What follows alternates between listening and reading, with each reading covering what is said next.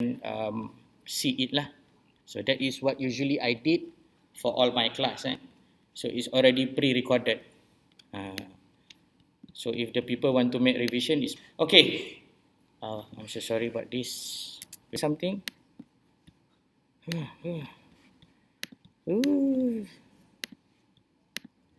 Okay. Much. Uh, so computer should do work for us. So actually, I just want to give you the sarcastic nature of the the terminology inside this slide is because we do a lot of things by not using computer, right? We using Excel, but in the end of the day, we calculate manually using our finger or our sempua or our calculator. That is not very good, okay? So that is the example lah. Uh, we have a lots of data that we can gather from the HQ or from the system, but yet we still ask the student to write their name on a piece of paper and so on. So that is not our culture in environmental health because in environmental health we want to save the paper. That's why a lot of uh, form or a lot of uh, question that already being generated. Even the even our KP want to know uh, what is the uh, something lah BDR or whatsoever that uh, he want to survey from our staff. Also he will utilize the use of Google Form for example lah. So it's easy for us to make uh, analysis and easy for us to make some reporting mechanism. Okay, we do not trust technology. Why? Because some uh, of us do not trust the technology. We trust the paper. But you do not trust that the paper can be burned by fire, right?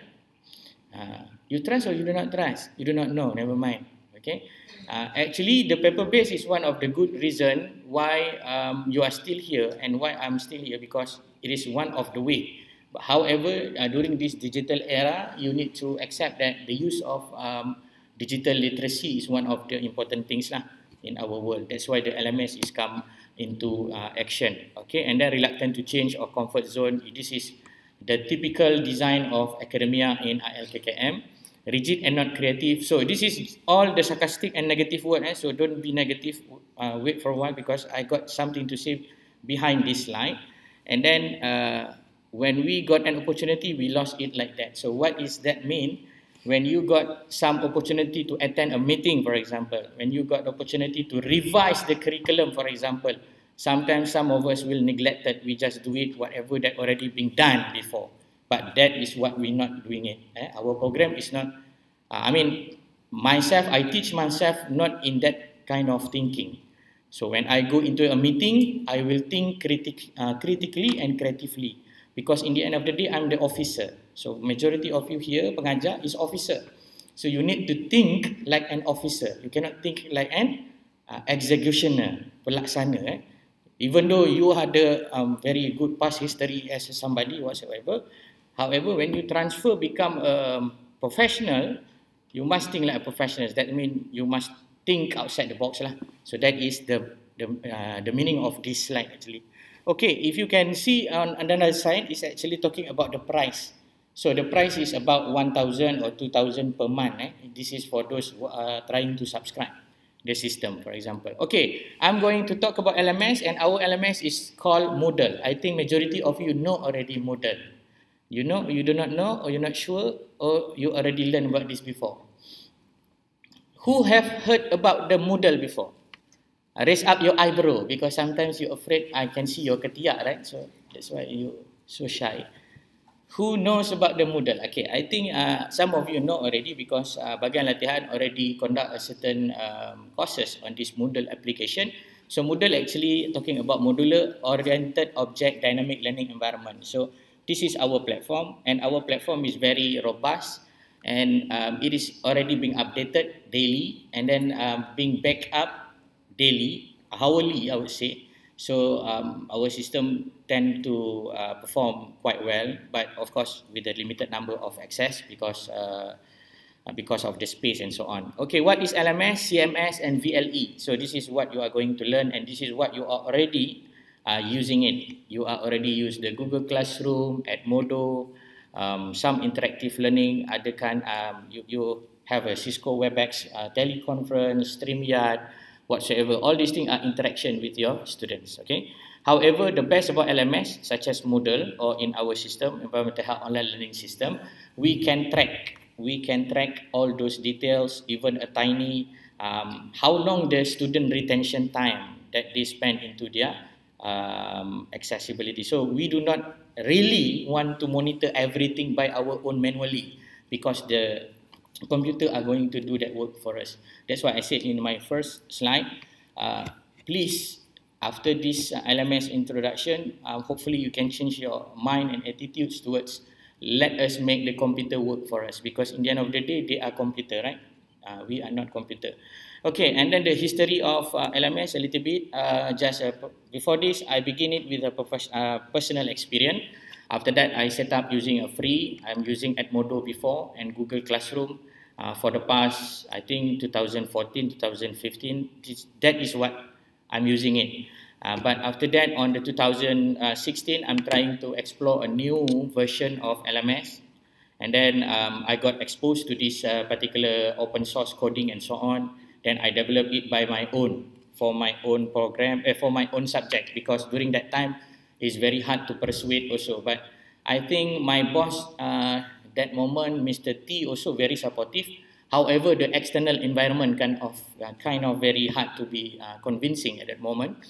And then, uh, in fact, our curriculum revision also have some sort of uh, disagreement, always disagreement with the with the top management at the um, at the outside there lah. You know what I mean? Uh, because of the acceptability and the usage of the internet connection. Eh? I I I still remember during that time when I'm using the online learning, the Naziran people come and schooling me. You know schooling apa schooling? Ah, sekolahkan saya. Kenapa you buat online learning? So, sorry, I, I need to translate into a Malay language so that you can faham dia punya bahan. Eh. Uh, why you buat online learning? You tak kesian ke student tak ada internet, tak ada handphone, tak ada data? Okay, so that is um, the previous experience lah. However, um, That's why I said I'm glad the COVID is here so that I should say the same thing uh, backwards lah. But of course, we need to be uh, more uh, professional and open-minded. Therefore, um, we still accept it because of the uh, circumstances. Okay, that's good. And then um, started by personal basis and then voluntarily. Uh, during that time, it's actually voluntarily. So that's mean when I open up a courses, I invite a student or any pengajar that want to join into my uh, classroom. Okay, this is my LMS, eh, 2017. I created it before for whole of program. Whole of program, for your information, lah. I think majority of you do not know. But since 2017, eh, actually, I already created it for all the program in ILKKM Sungai Buloh. But only a few program use it. If I'm not mistaken, one of the uh, program that using it is uh, BMS. Because during that time, BMS invite me to to give and some sharing session lah. I think three days workshop kot about uh, online learning something like that lah.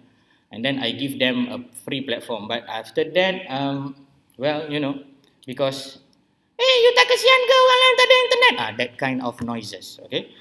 So the the the hint here yang saya nak cakap ni jangan dengar sangat pada noise lah, eh? because the noise is actually unwanted sound. So you have to choose which wavelength that you want to choose. Whether you want to choose the noise or you want to choose uh, the the real sound. Okay, so the trigger in LMS actually for the manual.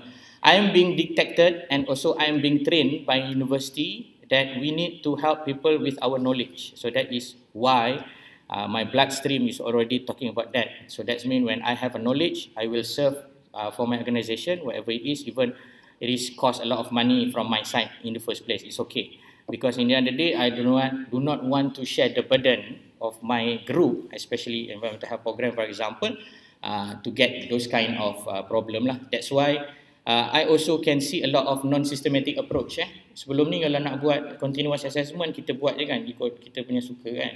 So some of the continuous assessment is being recorded um, manually, um, offline, and then our system are not very well uh, documented and then non-multiple angle for the non-discipline. I mean, non-multi-discipline means that we are very focused on our on our side. Uh, okay, this is general only. So this is the challenges in LMS. We have the phase one, phase two, phase three. So now our program is already uh, embarked with the first uh, phase three.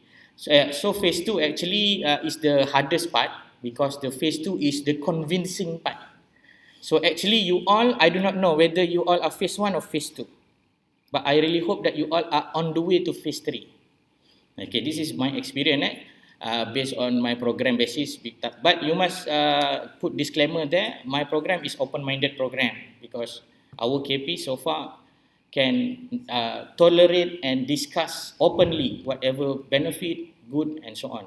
Based on my experience, eh, this is my personal experience, I would say that a lot of our KPs are very open-minded. They can listen and then uh, hear any benefit that uh, good for the program. Uh, they will uh, try to do it lah.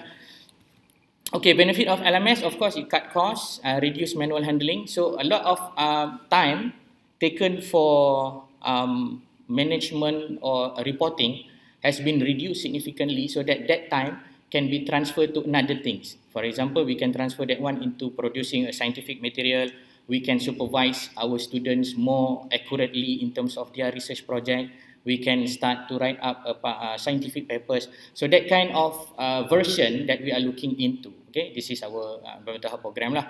So we reduce also manual handling, and then the most important actually uh, number three ni uh, analytics, the power of AI. AI stand for artificial intelligence. Under the model analytics, we can deploy the AI or the model um, set of complex algorithm to predict what kind of students that will be failure, what kind of student will be success, what kind of teacher will not be contribute their content. So all that warning will be given to the KP straight away. So that means it's very easy for the KP to make the objective measurement and uh, appraisal performance lah. Otherwise, it is very subjective kan. Kita kadang nak bagi markah 1 sampai 10 tu, kita macam mana? Saya tak pernah bagi markah lagi sebab saya tak ada orang bawah. Eh. Saya sangka baik lah, dia orang bagi markah semua tinggi je. Ha, sebab dapat uh, daripada ilham. Eh. Okay, benefit of Moodle Script, LMS ada complete learning environment. We are focusing on the point. Okay, LMS contain collaborative, synchronous, independent, safe-basis uh, courses. For those who want to retrieve this slide, no problem. I can uh, upload it inside my uh, website, our website, our program website. You can just download it for free. And then LMS function, instructor, learner, visitor, administrator. Ini four core function dalam kita punya system. So dalam sistem kita ni being divided into two, you have a activity or resources. Okay. So this is the idea of the activities. We can give student assignment, quizzes. I can try to read for you. Eh uh, attendance, book, chat, choice, confirm uh, custom certificate, external factor, feedback, forum, journal, lesson plan, page, questionnaire, whatever that you want lah. Uh, theoretically speaking, the best using this kind of LMS because you can import and export the module.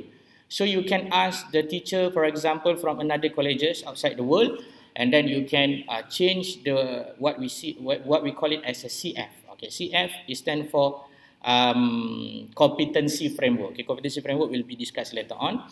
Okay, teaching and learning, customized and integrated. Um, you can customize your detailed competency framework and continuous assessment much more easier to do. Okay, for the instructor side, uh, if you want to evaluate your student, it's much more easier. You can start to know whether your student engage good or not, whether your student do your assignment or not, give the marks, and then you can even automate it. Automate ni maksudnya you can ask the computer to run the algorithm for you and then it will mark for the students. Example kan, nanti saya tunjuk sekejap lagi a few example from our tutors. Um, if you want to get this uh, notes, uh, sorry, if you want to get to the next chapter, you must pass the chapter 1, chapter 2, chapter 3. If you want to pass chapter 1, you must read this note. After you read this note, you answer this quiz. You cannot uh, move to the next section after you get five marks for example lah. itu algorithm-algorithm yang boleh dibuat oleh our tutors and then don't be surprised eh, our tutors um, can do it uh, in, with a few trainings lah after two to three days punya training insyaAllah eh, our tutors are very dedicated to perform well eh. Uh, banyaklah yang dah buat uh, kompetensi modul masing-masing so maksudnya you takkan boleh pergi lah chapter yang the next one unless you pass already the prerequisite of that uh, um, information. Okay, so learners management, we can use this one as one of the integrated delivery approach. Uh, this is our program punya hala tuju lah because we want to use the flipped classroom and blended learning. This is our, uh, kalau sebelum ni is more towards a vision and mission in our program but now it's toward real realization. Eh? So that's why our program sebenarnya dah lama buat blended learning ni. Cuma um, Uh, bahagian-bahagian yang berkenaan tu belum boleh menerima lagi lah dia punya acceptability dan pelaksanaannya. Now, because of the COVID, everybody accept it. Eh? Okay, very good. COVID, thank you so much for your help.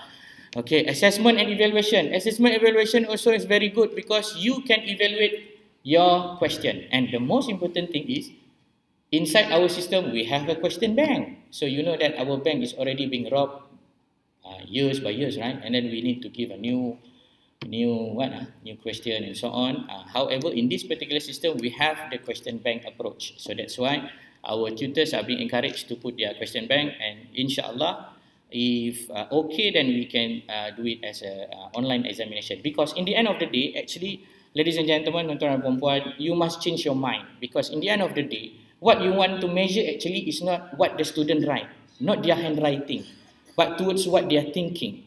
So that is my opinion lah. Certain subject are required students to think rather than just to write. So no matter how you ask them and they answer back your question give some uh, uh, reflection based on your stressor. So it's all about um, content that you want. So no need to to just um, duduk di dalam gua yang lama macam soalan mesti ada MCQ, SEQ. Uh, this is what we are trying to move away lah because in the end of the day there are so many things that we can evaluate our student. In the end of the day because we are trying to do the OBE kan, uh, objective based education. Out, sorry, outcome based education. Okay, engagement analytics is one. Okay, sebelum saya terlupa, sorry eh. Moodle secure and transparent. Okay, inside our system, we can also using the secure um, internet connection and link. Uh, contoh nak buat exam nanti, so kita boleh lock. Student tak boleh nak minimize. Dia memang lock lah keras dekat slide tu. Uh, jawablah sampai satu jam, dua jam. Um, and also based on my experience as the ADET teacher, eh, ADET ni uh, Advanced Diploma Applied Epidemiology lah. Uh, thanks to the uh, thanks to our friend in IT department because they managed to help us in setting up the computer uh, examination eh. uh, for the time for for quite some time kita menunggu akhirnya mereka dapat bantulah dan alhamdulillah kena pada masa dia dan dia beroperasi dengan baik so that's why I don't think that this uh, computer exam is not able to be done eh uh, can be done actually Okay, security and then last sekali adalah competency framework. Saya ulang lagi sekali, competency framework tu apa nanti saya explain. Engagement analytics, okay, this is all about the data that we want to study the student. Nanti saya tunjukkanlah contoh if you ask any question, I can show you how the results and also output behave. Okay, for your information, our program um, believe in manual attendance, but we also believe that electronic attendance can ease our job because in the end of the day there is no cheating uh, there is no apa proof cheating mechanism lah whatever it is, people still can cheat. But we try our best to minimize and try our best to secure our uh, integrity and dignity. Okay, that is the, the idea. Eh?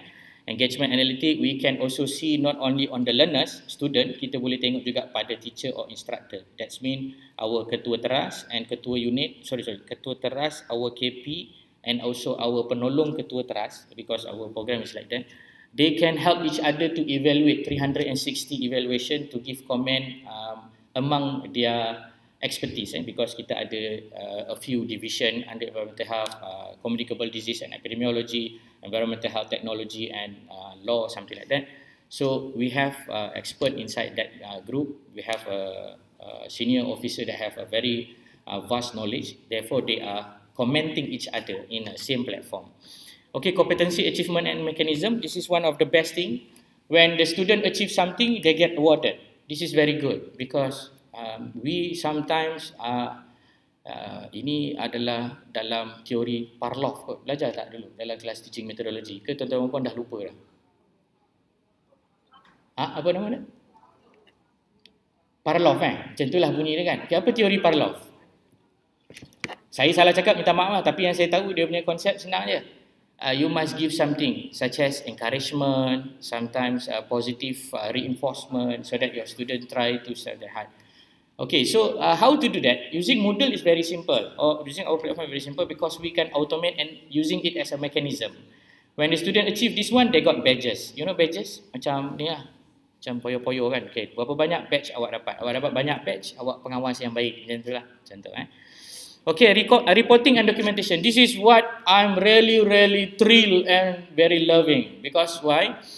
Uh, reporting and documentation sometimes wasting our time because in the end of the day we need to prepare our documentation and we, eh, sorry we need to prepare our teaching and learning material. However, sometimes reporting and documentation make our life become not a tutors or lecturers, become a managers and also managerial officer. Uh, so that's why we need to change lah this paradigm by using the system. By using the system, everything can be generated. We can just click, click over here and there, and it will produce for you. Okay. Uh, so predictive analytics, as I mentioned, it will predict for you, responsive towards performance uh, students is being helped by the algorithm. And then last but not least is not time consuming. Eh? In terms of time attendance pun kita ambil uh, electronically inside the class. Okay, this is a competency framework. I'm going to share with you after this. Okay, so let's dive in into the demonstration. I really hope that uh, I can receive a lot of questions uh, from member of the floor so that we can sort of exchange our understanding and belief uh, about these issues. Not issues, I mean this topic. Because um, for your information, uh, this platform is solely be, being made by our our our owner, I mean pengajar lah. I'm not saying myself, I will say our pengajar. So we should be proud of it uh, because um, with the limited background of uh, computer science and technology, sometimes we need to do something right to to help others in terms of um, make ease of everybody uh, work. Okay. So let us do some sort of demonstration. I'm going to demonstrate in a few uh, views. Okay, the first one is lecture content, interactive competency module, customized study flow, and also assessment. After that, I'm going to open for question and answer uh, before I begin with the future challenges because this one is will be uh, a very glimpse, uh, finalized um, take home message. Okay, um, so I can demonstrate now. Eh? menyampah mamat ni asyik cakap je dekat dalam live lain dekat dalam tak live lain ha, redha je lah kan okay so let us open into our model okay this is our um, LMS learning management system. It is being dedicated for our program for the time being. This is our um, this is our um, website myenvironmentalhealth.com don't type my environmental health itu maknanya kesihatan neraka. Uh, sorry uh, persekitaran neraka sorry. Environmental health. So after you type my environmental health over there then